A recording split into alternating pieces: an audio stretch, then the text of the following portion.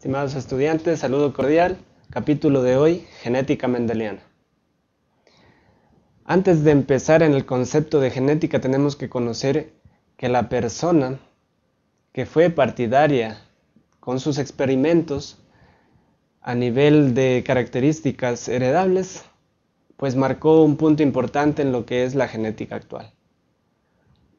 Las características heredadas, basado en lo que él nos dice, nos dejó delegado, es que son llevadas en unidades discretas que se reparten por separado en cada, en cada generación.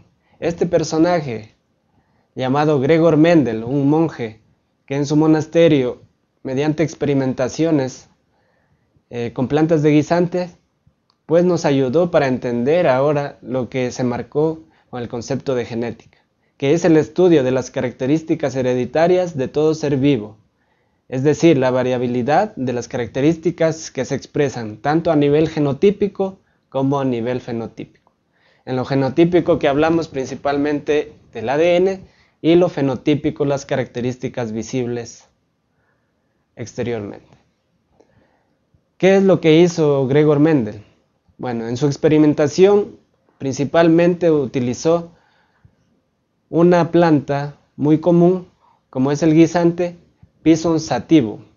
Pero esta planta tenía de características para sus experimentos que eran fáciles de conseguir en el comercio, fáciles de cultivar, que eran de crecimiento rápido, fácil obtención de variedades puras, y no podía ocurrir un cruzamiento accidental ya que muchas veces eran autopolinizadas por él mismo. En cuanto a variedades puras, es que ciertas características como color de las flores o la forma de las hojas se podían mantener de una generación a otra. Las características que estudió principalmente en esta, en esta eh, raza fueron las semillas, ¿Qué caracteres él analizaba? ¿Semillas lisas o rugosas? ¿Semillas de color amarillo o semillas de color verde? Los pétalos, púrpuras o blancos. La vaina, que sea hinchada o hendida.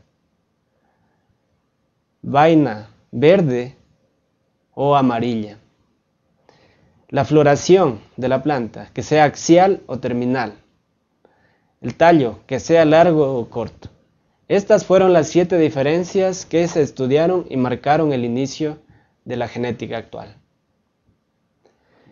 ¿Qué es lo que él nos deja como legado? La primera y la segunda ley eh, proporcionadas por Mendel. La primera que es el principio de la segregación. ¿Qué es lo que llegó a concluir él luego de sus análisis? Que si se cruzan dos razas puras para un determinado carácter, los descendientes de la primera generación, llamada F1, todos iban a ser iguales entre sí y a su vez. ¿Por qué? Porque cada uno de los progenitores que se iban a mezclar, uno tenía que tener el alelo dominante. ¿Y qué es alelo? Es una forma alternativa del gen para una característica determinada. En este ejemplo podemos ver que si mezclamos un carácter como el color amarillo, dominante, representado aquí con las letras A mayúscula, al mezclarse con un carácter verde llamado recesivo y representado por las letras minúsculas, ¿sí? en el primer, eh, en el principio de segregación es que cada, cada carácter se iban a mezclar, pero el dominante en la F1 iba a ser de manera totalitaria.